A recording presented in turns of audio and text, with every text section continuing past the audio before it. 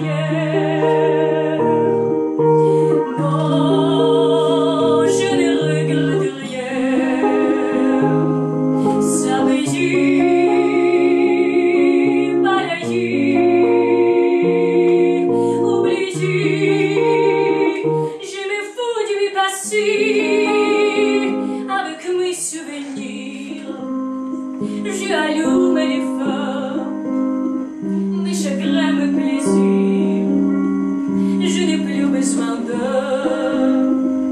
balayer les amours avec leur